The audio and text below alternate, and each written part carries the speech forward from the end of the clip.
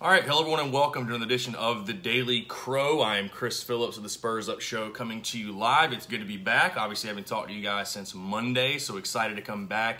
Talk some Gamecocks basketball mainly. Obviously, Jake Bentley coming back as well, so going to touch on that. But let's start with the basketball game. Gamecocks travel to Gainesville uh, to take on the Florida Gators, one of their Eastern rivals. Uh, let's start with the best bet in this one. A little bit different with the best bet. And before I get into that, I've got something to say about our sponsor, but different about the best bet. I'm actually going to start keeping up with it, keeping track. We can keep a record, see how much money I'm making you guys, or see how much money I'm losing you guys. But before we get into everything, obviously everything we do is brought to our friends by our friends over at SeatGeek. Just because football season's over doesn't mean you can go buy tickets. Use the promo code Spurs Up, get twenty dollars off your first purchase after you download the SeatGeek app. It's the best ticket buying app by far. Uh, they've got a rating system where they actually rate the tickets from red means you're getting a really crappy deal to green means you're getting a steal means you're getting a really good deal on the tickets.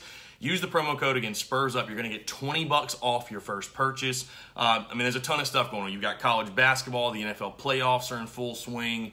Um, there's concerts, events, obviously in 2019, anything you can think of. Uh, so again, download the SeatGeek app. Use the promo code Spurs Up. That's S P U R S U P to get 20 bucks off your first purchase. I mean, if you don't use the promo code, I guess you just don't like saving money. Again, S P U R S U P, Spurs up. Save 20 bucks. Download SeatGeek. All right, let's get into it. Best bet for this one. Um, Gators Open is a 13 point favorite. They sit 11 and a half point favorite right now. Um, over under set at 100, uh, 133 and a half. You know, I don't know. For this one, for some reason, I know Florida's not a ranked team, but they're obviously very, very good. We're going to touch on that in a second. But I actually like the Gamecocks to cover here, plus 11 and a half. I just, I, it has a feeling to me that South Carolina, they're not playing great basketball, obviously. I mean, they got a win against North Greenville, which is a D2 opponent. It doesn't mean anything. But I think for this one, I like South Carolina to come out fired up. The first conference game of the season. I know they're on the road, but I, I think 11 and a half is just a little too much. I know it opened at 13. I think there's a reason that it's gone down to 11 and a half. I got the Gamecocks covering plus 11 and a half. Um, I don't know. I just think South Carolina's going to come out make this a really tough game, competitive game. I feel like South Carolina always seems to play Florida close, too. I mean, South Carolina split with Florida last season when the Gamecocks were about as inconsistent as they are right now, I would say. So I like South Carolina to cover that plus 11 and a half. As far as the game's concerned, Florida's still, even though they're not ranked, Florida's a very, very good basketball team. Um, they're right there on the outside, receiving votes. They've got some good wins this season. I think they actually beat West Virginia. Um, but I, I, think overall for this game, it's going to be very interesting to see for South Carolina. I think this is almost sort of a measuring stick type game field, just to kind of see how this SEC season is going to go. Is it going to be because listen, nobody thinks South Carolina is going to go on some run and make the conference tournament, or probably even or make the uh, NCAA tournament, or even make like the NIT. But I think this is going to give us kind of a gauge of all right, is this going to be a team that battles and scraps and maybe can pull an upset here or there, can, you know, give some of these better teams trouble because the SEC schedule is very, very good. The SEC is very good this year at basketball.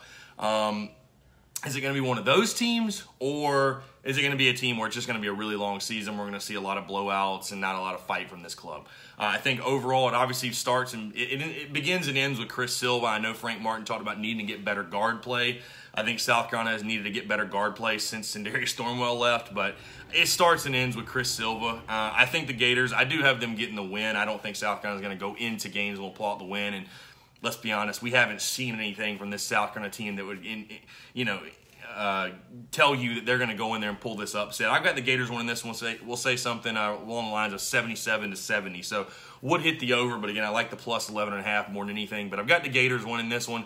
Again, Gamecocks keep it within the number, but 77 to 70. I think South Carolina battles hard. It might. I expect it to be really, really close in the first half. I might even see like a tie game after the first half, but I think Florida's just too good.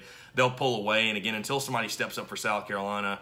Um, we haven't seen anything that's going to tell you they're going to get the win. Need better guard play, better shooters make free throws. Yeah, I mean, you've got to make your free throws in games like this, obviously. I mean, South Carolina hasn't been great in that. And again, the Gamecocks have needed better guard play, in my opinion, for a lot since since Sindarius left. I mean, there has been nobody to really step up. I know they want Tre Campbell to kind of be that guy, be more aggressive, step up and be that dude. I'm just not sure if he is that guy. So we'll have to wait and see. It should be a lot of fun. Um, Moving into Jake Bentley, obviously announcing his return to the Gamecocks in 2019 for his senior season, announced it yesterday uh, on social media.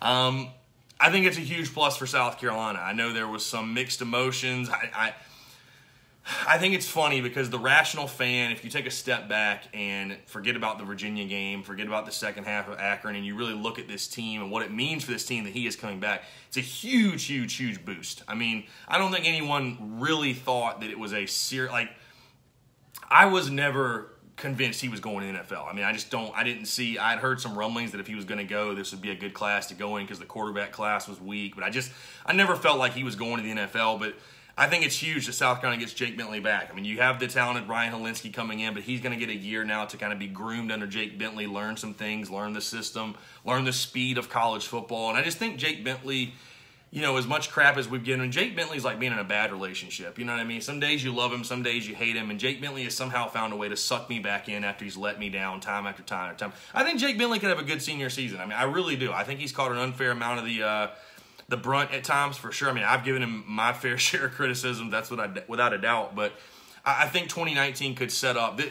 all of the bad memories of Jake Bentley could be erased if he goes out and has a good 2019. They're going to need him to, obviously, with that schedule. We all know how daunting that schedule is, but I think if Jake Bentley, if they can find some sort of running game, and obviously there's there's commotion about there being a change at the running backs coach, which uh, I think would be welcomed at this point, but I think Jake Bentley can go out have a really good 2019. I think it's a huge plus for your team. As, as hard as the schedule is, I think the last thing you wanted to happen for this program is going to 2019 with no answer at quarterback with with two unproven guys. I mean, Dak Joyner and Hilinski, one that's never played before, and one that is a redshirt freshman that played in basically one game. Um, so I think Jake Bentley coming back is huge. Also from a leadership standpoint, obviously everybody loves him in the locker room, and again, he's been a great ambassador for the University of South Carolina. But definitely on the field, I think it's a huge thing for South Carolina that he come back. Um, and I'm glad he's coming back. Honestly, again, I know there's going to be times where you hate him. Again, it's like a bad relationship. One day you love him, one day you hate him. You got to learn to live with him though. And right now he's he you know, I know we hear he's your best option. I, would be interested to see how short the leash is because what I'm saying right now that I'm glad he's back. If he doesn't play up to it, obviously I think Ryan Hilinski's going to be there to push him. But I also think the competition is going to help him a lot. I think we saw that after Michael Scarnecchia came in and there was a bunch of talk about him taking his job. I thought Jake Bentley played his best football when he knew his job was in jeopardy. And listen, some guys, some athletes, some people respond to that kind of pressure, their backs against the wall. They respond to that type of adversity. So I'm really excited just to see – because I think the Hilinski and Joyner competition behind him is either going to make him a better player or it's going to break him because he, he has to get better. He, he doesn't have any other option. He can't go into 2019 and throw 14 picks again. It just it just cannot happen. So I mean, the guy's obviously got a chance to set the all-time career passing yards record. I think he's like 26 or 2700 away. Needs eight more excuse me eight more touchdowns to set the career passing touchdowns record. He's pretty close. I think it's seven or eight wins away from being the all time winningest quarterback at South Carolina. I think he's second in completion percentage. I mean, you know, for as much, you know, crap, like I said, as we give Jake, there's a lot of awards that we could see Jake Bentley. We could see him on the stadium. I mean, we could see him on the turnstiles, his name up there. Um, so, again, I think his senior season, he could be saving the best for last. Again, he's got to prove it on the field. I know we, it, we he's got to prove it on the field. But I think it's a huge plus for South Carolina. I think it's a huge boost to get Jake Bentley back. As much much criticism we give him, as much as we get tired of hearing the same things over and over, that he's the best option, this and that. I mean, I think right now he's by far the best option for this team and the best option going into what is going to be a really tough 2019 schedule. Um, other than that, that's pretty much going to wrap it up. Obviously, 1 o'clock, the Army All American Bowl. We'll be watching Cam Smith and Ryan Hilinski go at it.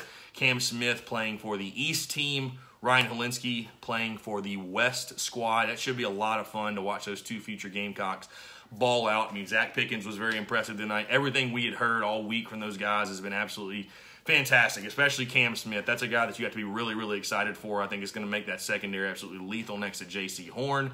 Um, other than that, I'm not really going to touch on what happened yesterday with another South Carolina media outlet. All, all, I can say is this: you're either with us or you're against us. So it's the Spurs Up show versus everybody, and that's completely fine with me. But you're either with us or against us. So I appreciate you guys tuning in. Probably will catch you tomorrow to recap everything that happened with the game, with the Army All American Bowl and the game tonight. Be sure to go download SeatGeek. Use the promo code Spurs Up. Other than that, if there's no other questions, uh, appreciate you guys tuning in, and we'll talk to you tomorrow. Thanks.